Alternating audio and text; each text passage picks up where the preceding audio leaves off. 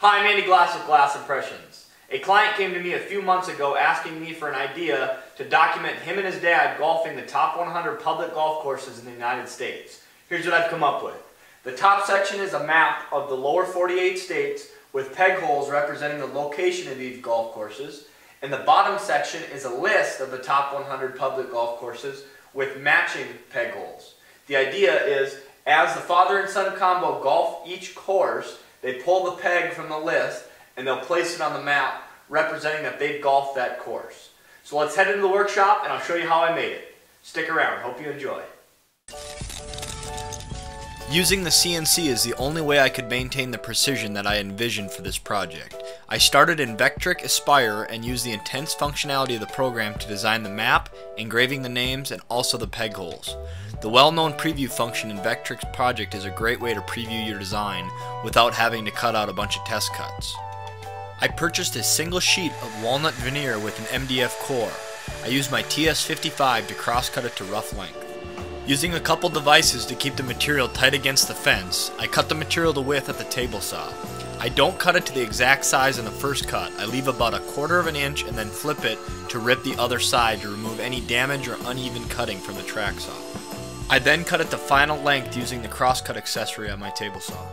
I will be using lacquer and the fumes can be a bit harsh. I use a full face shield and respirator combo to keep me from breathing them in.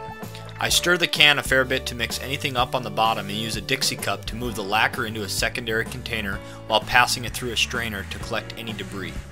After easing the edges with a sanding block, I apply 4 coats of lacquer using an old white cotton t-shirt bundled up into a ball.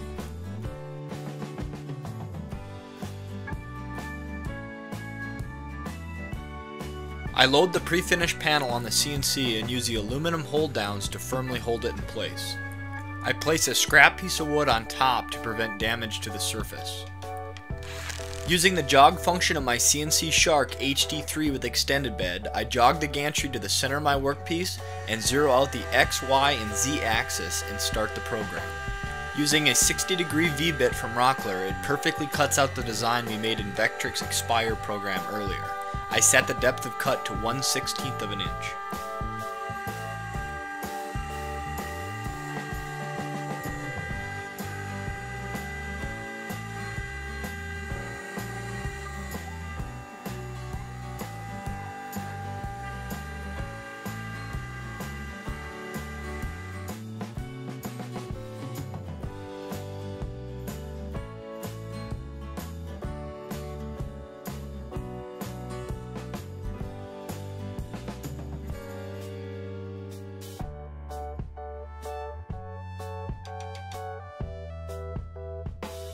Once the work with the V-bit was completed, I installed a 1 4 inch spiral bit and used the Z0 touch plate to re-zero the Z axis. I selected the peg hole program we designed earlier and hit start.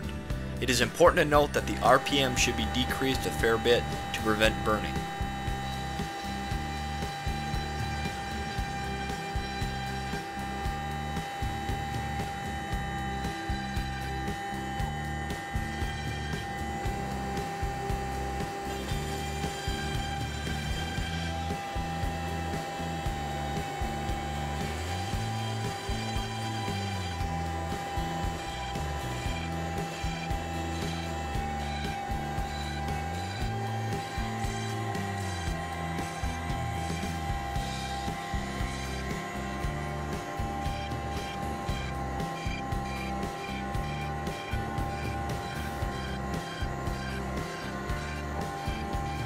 I use the same cutting procedure with the name section as we did with the map portion earlier.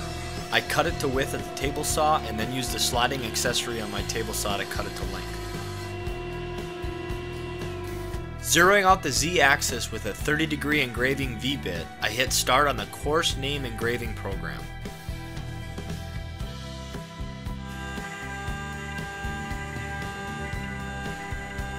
It is truly a treat to have a CNC. Especially with projects like this, you really get an appreciation for the precision and accuracy of a CNC machine.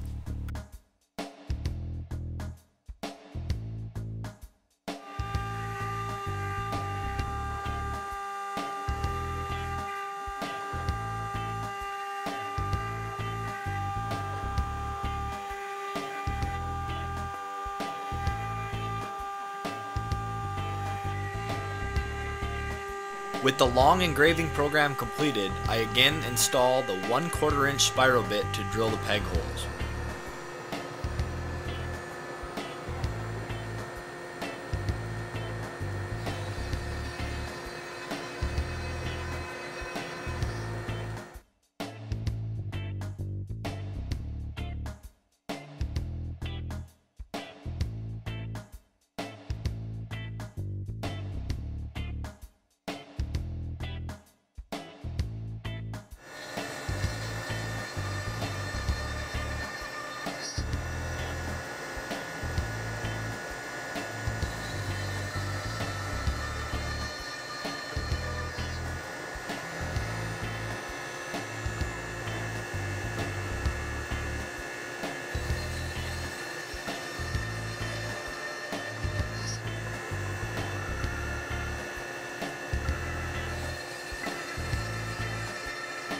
While the peg holes finished up, I took advantage of the multitasking opportunities CNC offers and used an arts and crafts syringe set to apply black paint to the map engraving grooves.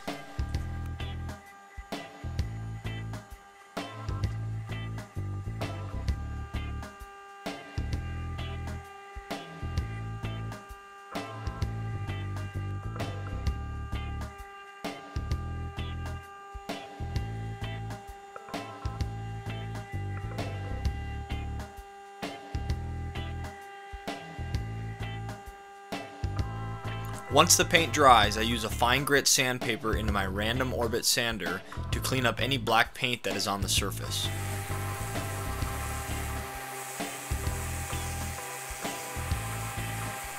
After vacuuming and using a tack cloth to get the fine dust off, I apply another two coats of lacquer. To apply the black paint to the engraved letters, I use a small brush. This was much faster and it didn't have any effect on the walnut as I had pre-finished it.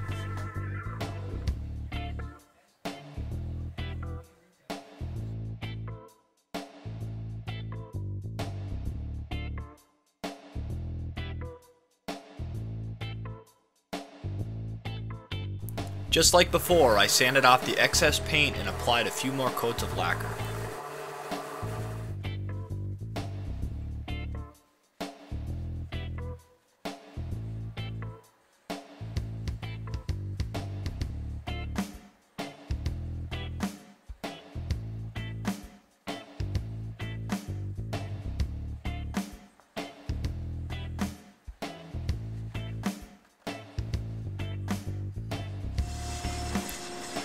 I'm going to wrap both sections with matching walnut hardwood.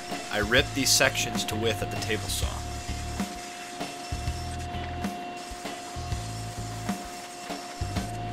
I mill a rabbet at the table saw. This will allow the molding to wrap around the panel and sit a bit proud.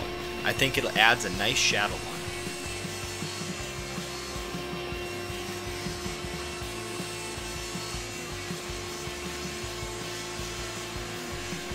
I cut the miters at the miter saw. It is very important to use a hold down to keep the blade from pulling the material and ruining the miter. I clamp the section in place and use a fine pencil to mark the other side of the miter. I use a laser on my miter saw to get me close and slowly sneak up on the fit with a few test fits and going back and forth to the saw. Once the moldings are completed, I apply a few coats of lacquer and glue them on.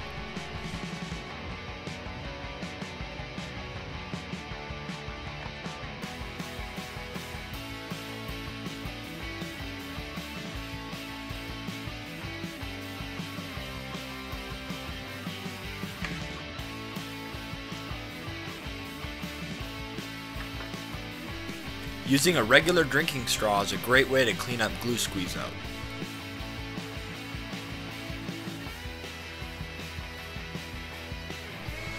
I cut 1 inch birch dowels at the table saw and use the oscillating spindle sander to round over the edges to make going in and out easier.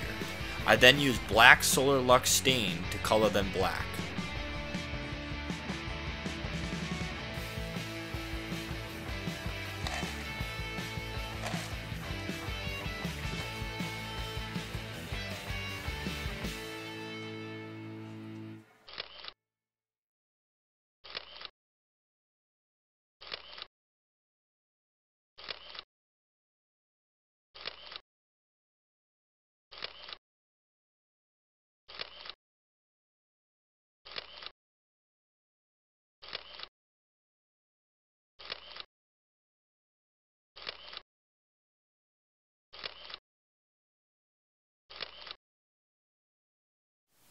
What do you guys think? I thought it turned out great. It turned out a bit on the large side, but there was no way to avoid it as I needed the map large enough so the holes could be spaced out, and I need the engraving large enough so the engraving would come out okay and legible. If you guys have any questions or comments about this project or anything else, please leave them below. If you'd like to know more information on glass impressions, I encourage you to visit my website, andyglassimpressions.com, or search me on YouTube, Glass Impressions, as I frequently release woodworking and CNC content. Thanks for watching, and I'll see you next time.